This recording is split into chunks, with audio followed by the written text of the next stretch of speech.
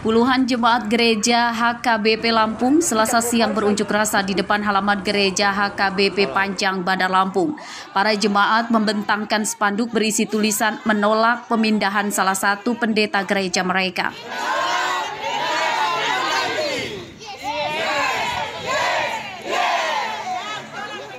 Penolakan dilakukan karena menurut mereka pendeta Marihut Maulang dimutasi sepihak oleh pengurus HKBP Distrik 32 Lampung. Mereka meminta pendeta Marihut untuk kembali memimpin jemaat di gereja HKBP Panjang.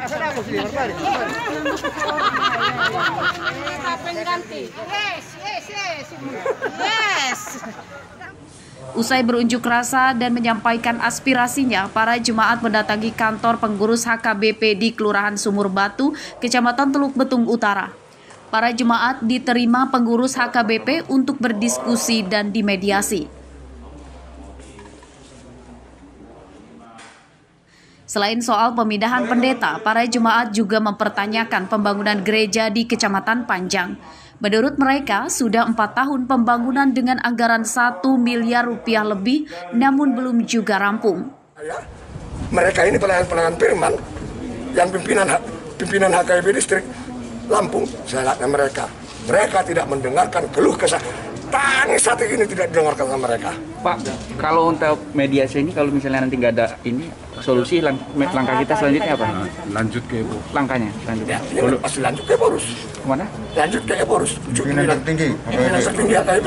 Itu urusan pimpinan Eporus itu nggak ada nggak ada urusan kita itu namanya kita punya pimpinan kan kalau datang SK ya harus jalan siapa pun itu orangnya kecuali kecuali juga ada klarifikasi dari pimpinan jangan jangan kita kalau terkait anggaran amang yang katanya oh, harusnya cuma satu miliar tapi tiba-tiba itu kita tidak bisa komen soal itu masih kita. Pihak Jemaat HKBP meminta pengurus HKBP Distrik 32 Lampung transparan terkait pemindahan pendeta Marihut Maulang serta pembangunan gereja. Jika tidak dilakukan, mereka mengancam akan melaporkan ke penegak hukum. Robi Laste melaporkan dari Bandar Lampung.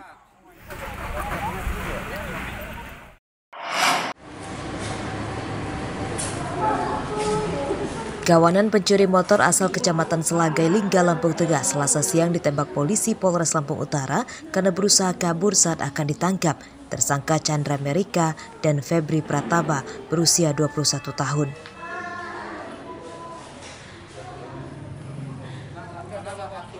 Meski luka tembaknya telah diobati, untuk sementara tersangka tidak bisa berjalan dan harus dibantu dengan kursi roda. Salah satu tersangka mengatakan nekat menjadi pencuri motor akibat terlilit utang. Alasan kamu maling di Lampung Utara sebanyak ini apa?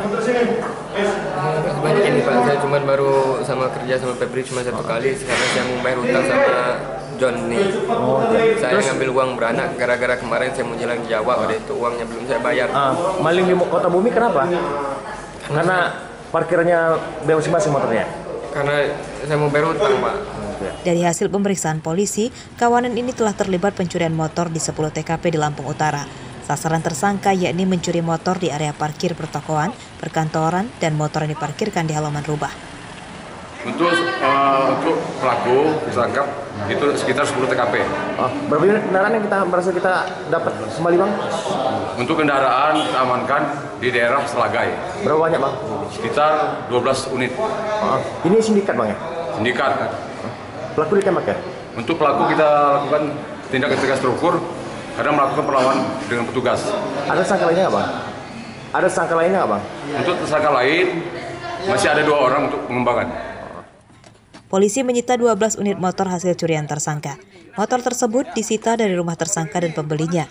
Atas perbuatannya, kedua tersangka terancam 7 tahun penjara. Ardi Yohaba melaporkan dari Lampung Utara.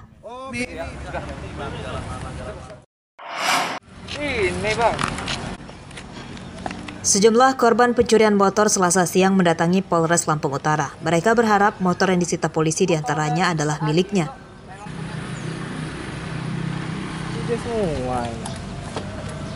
Para korban pencurian motor ini datang ke Polres Lampung Utara dengan membawa surat-surat kendaraan. Mereka memeriksa secara teliti unit motor yang disita berikut nomor mesin dan nomor rangka kendaraan. Kita buku DPKB-nya ya? Semua surat-surat lengkap bang. Hmm. Gimana dek perasaan kita kalau ngeliat ketemunya motor kita lagi dek? Ya kalau ini memang motor kita ya alhamdulillah. Ah, ini kan motornya udah kembali. Itu gimana perasaannya bang? Ya senang lah. Ah, ah. Ya terima kasih sama Polres Lampung Utara. Ah, ah. Waktu itu hilangnya kapan bang? Hari Rabu jam 3 Ah, ah. di Ningrat. Oh, udah berapa hari? Sekitar 3 hari ini. Akhirnya ketemu lagi ya? Pada selasa siang, tim Serigala Polres Lampung Utara menyita 12 unit motor dari dua tersangka pencuri bernama Chandra Merika dan Febri Pratama, warga Kecamatan Selage Lingga, Lampung Tengah. Polres Lampung Utara akan mengembalikan motor yang disita kepada pemiliknya secara gratis dengan syarat pemiliknya membawa bukti surat laporan polisi tentang kehilangan motor, STNK, dan BPKB motor. Ardi Yohaba melaporkan dari Lampung Utara.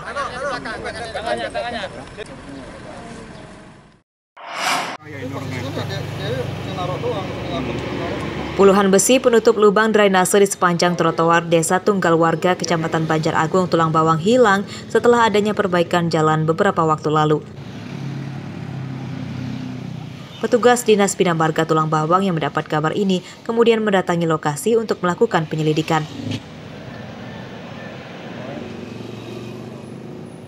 Total ada 30 besi penutup lubang drainase yang hilang. Dari hasil pemeriksaan di lokasi, rupanya besi penutup drainase tersebut hilang akibat dicuri pemulung. Untuk sementara, pihak Bina Marga akan berupaya menutup sementara lubang-lubang menganga di trotoar supaya tidak membahayakan pejalan kaki. Rata-rata sepanjang jalan ini sudah hilang semua grillnya.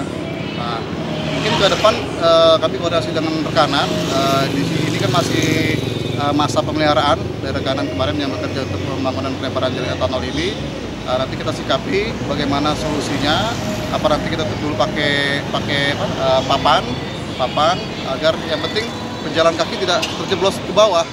Dinas Bina Marga Tulang Bawang juga akan berkoordinasi dengan rekanan proyek yang sebelumnya mengerjakan perbaikan jalan dan trotoar supaya bisa segera menutup kembali lubang-lubang menganga tersebut secara permanen. Mustaqim melaporkan dari Tulang Bawang.